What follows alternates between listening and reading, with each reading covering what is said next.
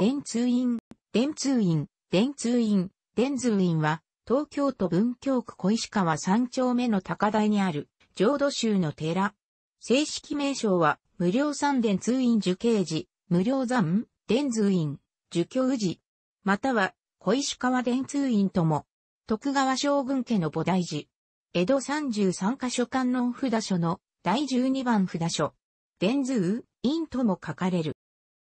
室町時代の応永22年、1415年、秋に、浄土宗大七祖の聖光が、江戸の小石川極楽水、現在の小石川四丁目の草案で改装し、三号を無料山、次号を受刑寺とした、現在、この場所には、徳川家康の側室茶の壺根の菩提寺、基地、水山宗慶寺がある。海山は、弟子である聖里し、増上寺の解散商人の絶望によるものという。本尊は、平安時代の僧、原神、絵神宗図作とされる阿弥陀如来像。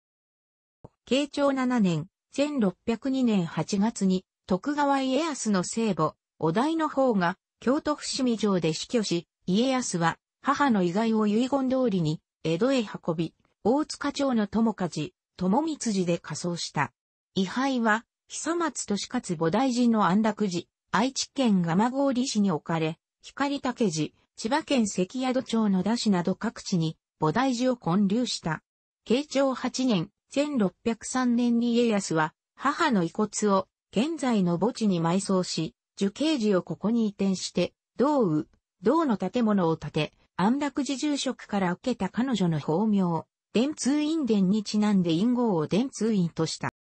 家康は当初は菩提寺である芝の増上寺に母を埋葬するつもりであったが、増上寺を解散した聖里氏商人の死である、両誉れ商人が世を開いた古地に新たに寺を建立されるようにとの増上寺中に設置国し、自称の言状を受けて、電通院の建立を決めたという。慶長13年、1608年9月15日に、道宇が竣工。漢地国史門下の学僧車山、後に、増上寺13世が家康から住職に指名された。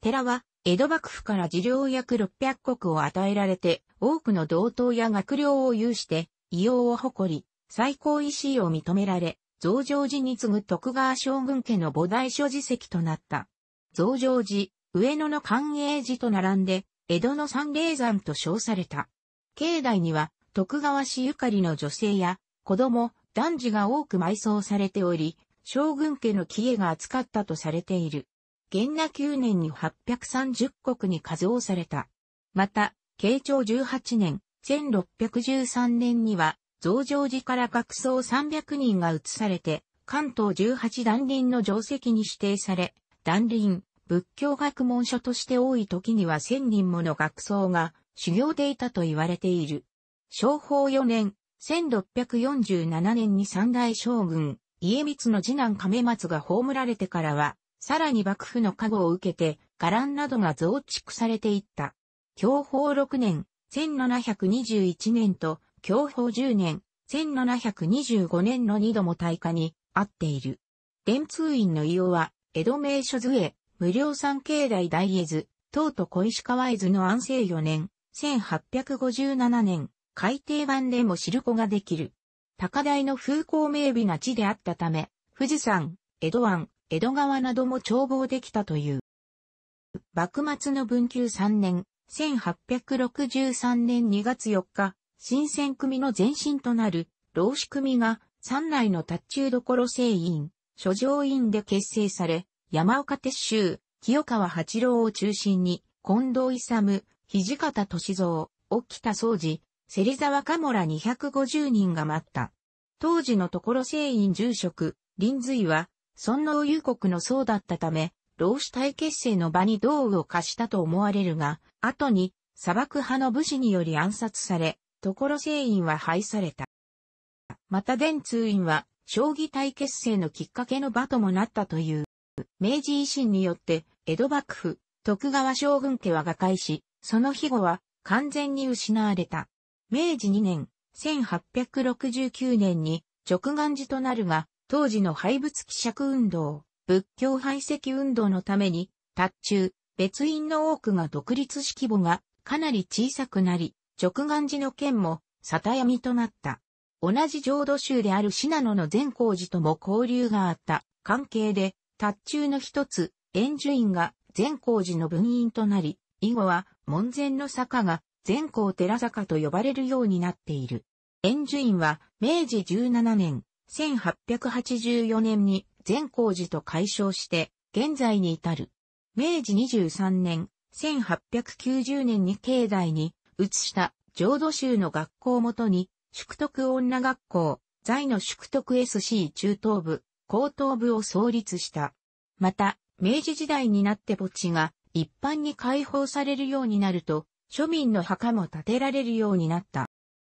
文豪、長井家風は、明治12年、1879年に電通院の近くで生まれ、明治26年、1893年までここで育った。その思い出は、随筆、電通院、明治42年頃を生み出し、パリにノートルダムがあるように、小石川にも電通院があると称賛した。また、家風は明治41年、1908年に外遊先より帰国して、数年ぶりに電通院を訪れたが、その晩に本堂が消失した三度目の大化ため、同随筆の中で何という不思議な縁であろう。本堂は、その日の夜、追憶の散歩から帰って疲れて眠った夢の中に、すっかり灰になってしまったと記している。夏目漱石も若い頃にこの近くに下宿していたため、小説、心で電通院に言及している。高田露伴一家は、大正13年、1924年に電通院の近くに転居して、現在も子孫が住んでいる。